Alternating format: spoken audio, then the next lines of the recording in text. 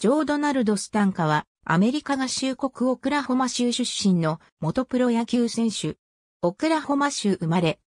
オクラホマ農工大学では、バスケットボール選手だったという。1950年にブルックリンドジャースと契約。長いマイナーリーグ生活を経て、1959年9月2日にシカゴホワイトソックスで MLB 初登板を果たし、その3日後の9月5日にも登板し、MLB 通算2試合で1勝を挙げた。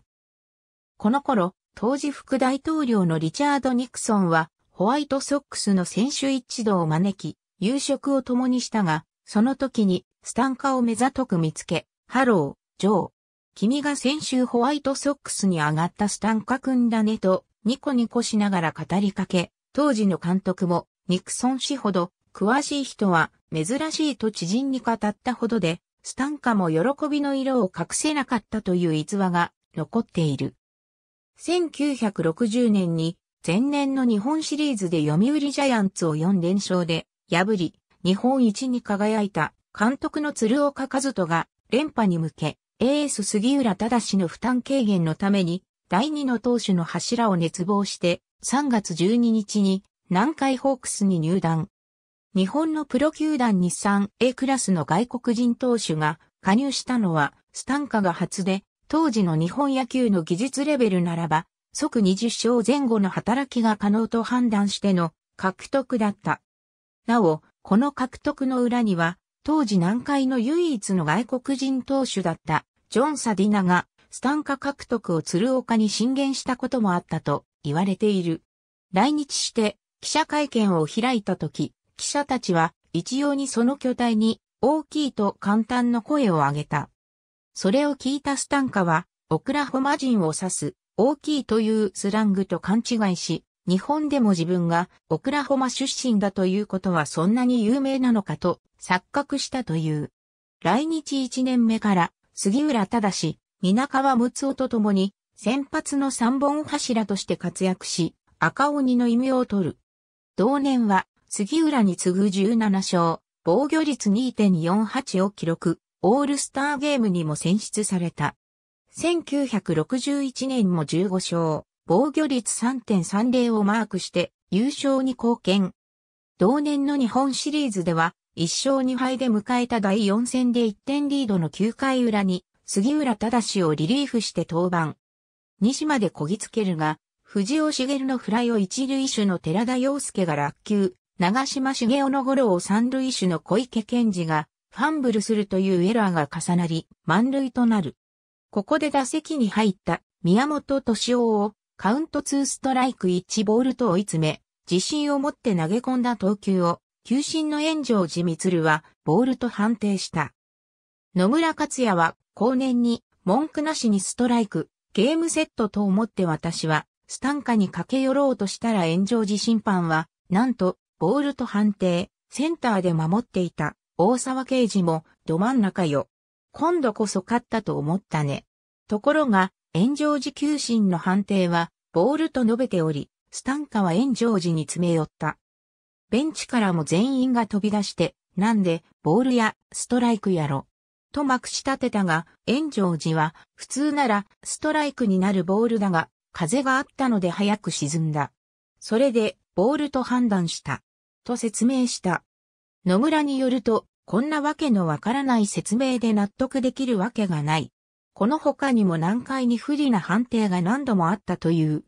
試合再開後、次の球を宮本に通打されて、さよなら負けを喫する。この時、スタンカはバックアップに入ると見せかけて、炎上寺に体当たりを食らわせた。この敗戦が影響して、南海は日本シリーズに敗れる。同試合を見ていた商社マンが、炎上寺あれがボールか秋の空という川柳を色紙に認め、実業家に転身していたスタンカに送った。その色紙は、後年になっても、スタンカの事務所に飾られていたという。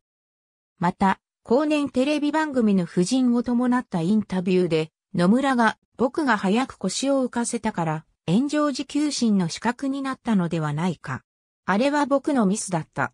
というコメントを見た際には、彼とバッテリーを組んでいたことを誇りに思うと賛辞を送っている。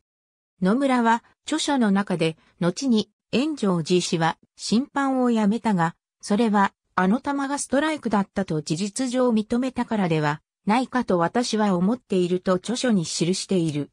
結局このシリーズでは5試合に登板して1完封を含むに関東勝利を挙げ、関東賞を受賞している。1964年には26勝、防御率2.240を上げて、シーズン MVP に輝く。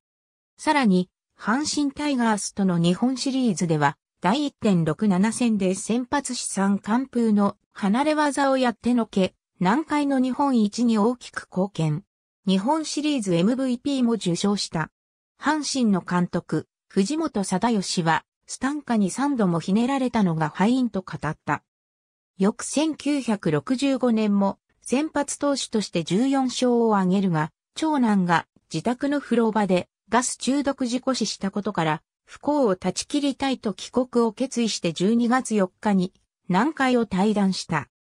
この年のスタンカ以降、ホークスの外国人投手の2桁勝利は長らく達成されず、デニス・ホールトンの登場まで44年を待たねばならなかった。しかし気持ちの整理がついたことから再来日を希望し、南海球団の仲介で1966年3月30日に太陽ホエールズ入りが決定した。背番号は南海時代と同じ6。これは日本美意になっていた夫人の勧めでもあったと言われている。しかし、このシーズンは6勝13敗と不振でわずか1年で解雇され引退した。9月27日の巨人戦で通算100勝を達成しているが、これが現役最後の勝利となった。帰国後は自動車のセールス業、不動産業など様々な仕事に就いたもののどれもうまくいかなかったが、後に息子たちが開いて大成功を収めた会計事務所の最高経営責任者となった。2018年10月15日、テキサス州の自宅で死去。死因は不明。2メートル近い長身から投げ下ろす重い速球が武器で打者に威圧感を与えた。右打者への胸元へのシュートが威力があったとされ、チェンジアップ、スライダーを武器にしたが、反面シュートのかけ損ないをよく本塁打されていた。立ち上がりに難があり、左打者にもよく打たれていた。その名前からスカタンとやじられていた。打撃も得意で代打での出場もあり通算7本塁打を記録している。大沢刑事は次長において、俺の知ってる限りじゃ、日本野球に徹した最初の外国人選手だろうな。2メートル近い身長から投げ下ろすピッチングは、すごい迫力だったと表した。また広瀬義則は、日本に来た外国人選手で、最高の投手は文句なしでスタンカだと思っていると評している。チームメイトを非常に大切にし、チームメイトの要請に応じて1960年代の日本ではなかなか手に入らなかったルイビルスラッガーのバットやローリングス・ウィルソンのグローブを本国から取り寄せていた。また、先発して勝利投手となると必ずと言っていいほどホームパーティーを開き、チームメイトを招待していた。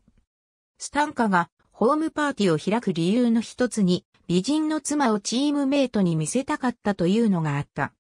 実際に、当時若かった杉浦忠や野村克也は、スタンカの話などはどうでもよく、スタンカ夫人の動きを目で追っているだけで、憧れのスターにでもあったような満足感を得ていたという。ありがとうございます。